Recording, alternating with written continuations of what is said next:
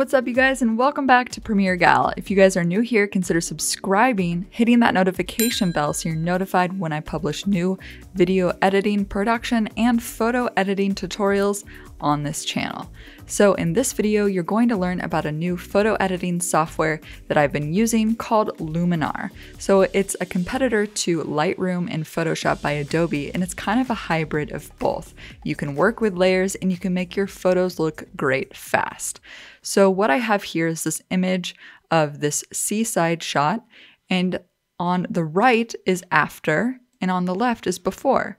So all I did was slightly enhance this image, bring out some of the colors, also remove some of the haze, which I'll show you how to do. So let's start from scratch here. I'm going to pull up my original shot here. And I almost forgot to mention that Luminar has a sale right now. It's $20 off.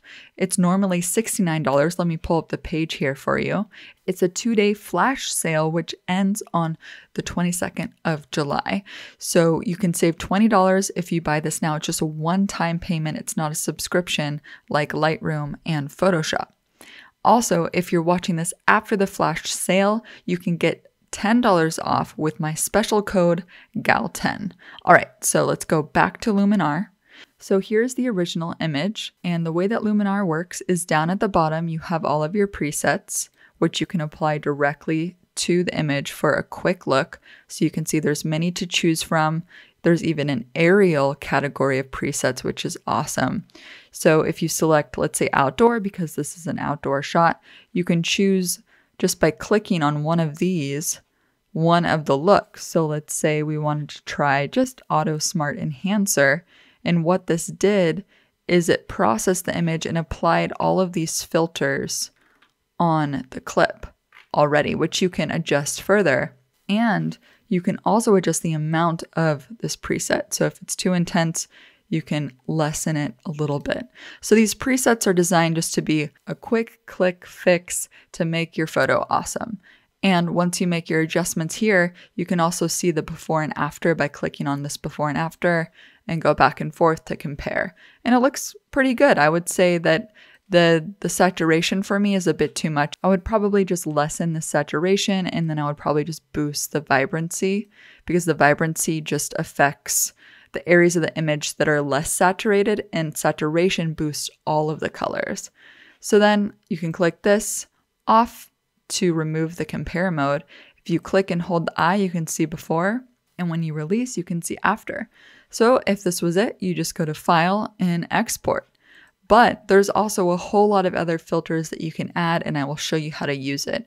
So over here in this right side panel here underneath filters, you'll see a drop down for workspaces. So you can click on one of these workspaces to get started. So if you're working with a portrait, you can click on portrait. If you're working with landscape like us, you can click on landscape and it will give you the common use filters that are commonly used for that particular type of photo. There's also aerial photography, quick and awesome, professional, and essentials. So I'm going to click on landscape.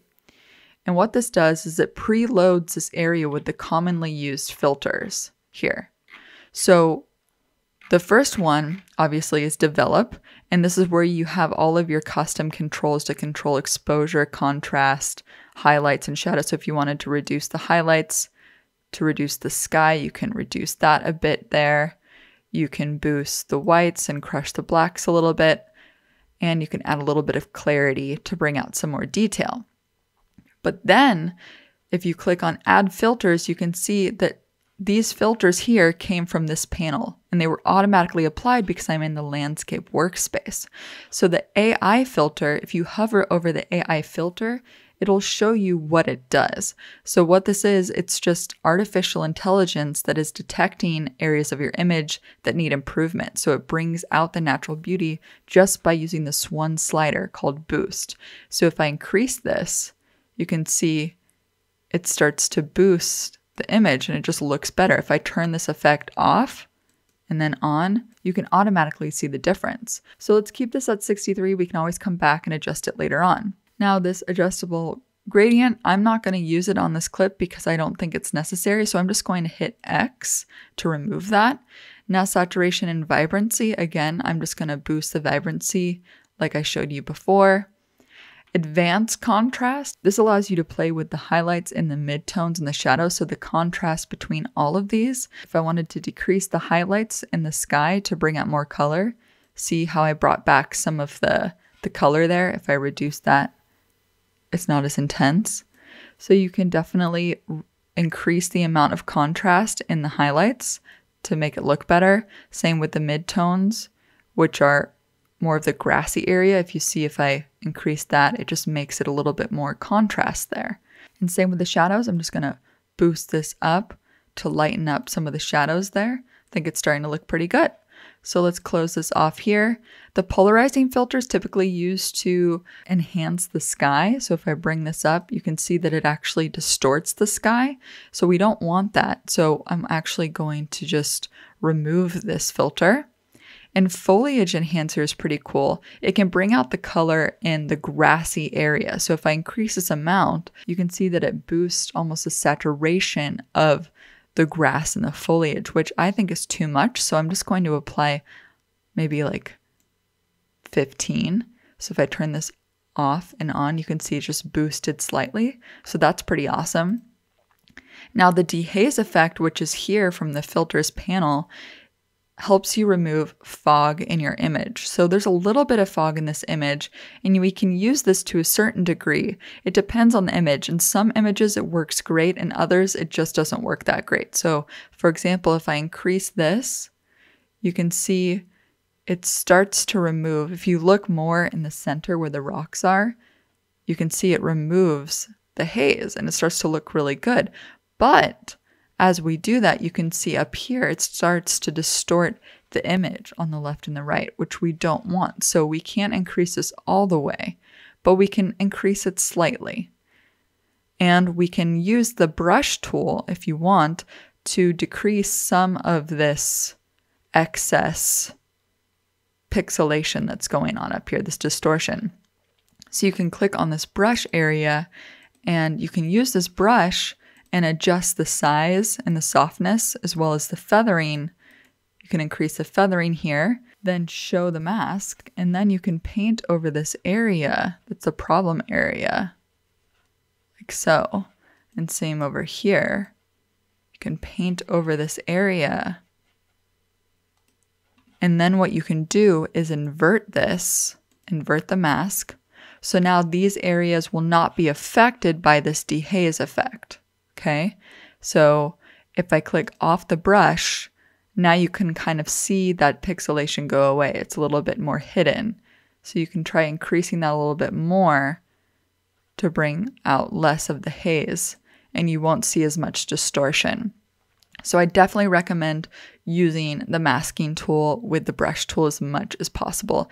And you know that the area is inverted I also wanted to show you another example of the dehaze effect with this Grand Canyon photo here. And if I wanted to go up to filters from add filters and apply the dehaze effect, you can see that as I increase the amount, it really does a great job at decreasing the haze and bringing in more of that detail that we like. So if I hit the eye off, you can see the difference and on. And then if we wanted to add a little AI filter to give it a little boost, we're pretty much done enhancing this image. If you go to before and after, you can already see the difference. So I just did a couple clicks and this image already looks so much better.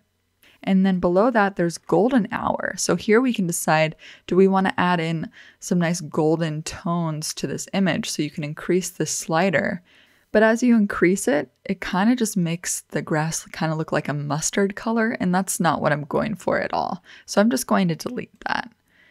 And then curves, we can use this to sort of boost the luminosity, which is the brightness of the image, or crush the blacks as well if we want to a little bit. But I'm thinking it looks pretty good. I may just do a little slight boost there on the side. You can also adjust the red values, the green values, or the blue values in the image. So, LUT mapping, this allows you to apply a LUT, which I'm not going to do in this tutorial, but if you have a LUT, you can click on this and you can load your custom LUT or you can load any of these preset LUTs into your image to give it a particular look. So I'm not going to use a LUT, so I'm just going to hit X here. Next is structure. This will allow you to bring out some clarity in the structures that you see in the image. So the rock and the grass, if we increase this amount, you will see some structure in them. So it's more detail. If I turn this off, you can see what it looked like before and after. And here you can add some softness to the tops of the grass. So as I increase this, you can see some more softness appear on top of the grass, which is nice. And the boost affects the overall structure. So if you boost this all the way up, it looks a bit too intense. So I'm just going to reduce that a bit. And down here is image radiance. You can apply this to bring out kind of a glow to the image, but I think it looks too dreamy. It's not what I'm going for, so I'm just going to hit X. Vignette allows you to apply a dark vignette around the image or a light one. I'm not going to use it, so I'm going to hit X.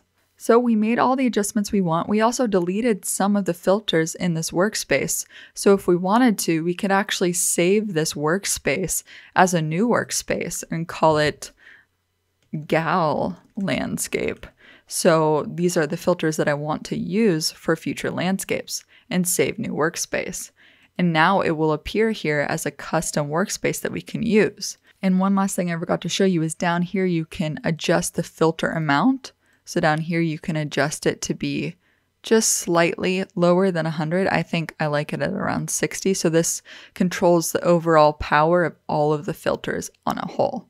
So if we go up to before and after here, you can see the difference it just looks dull. I mean, I thought when I first saw this photo, it looked great, but now after I applied these filters, it looks even more awesome. So let's turn off the before and after, and that's it. So that's all there is to starting with Luminar. There's so much that you can do with it, and I encourage you guys to check it out. And don't forget about the flash sale that's happening until the 22nd of July this month. And if you miss that flash sale, you can always use GAL10, the code, at checkout to get $10 off your Luminar software. Thank you guys so much for watching, and I will see you guys very soon.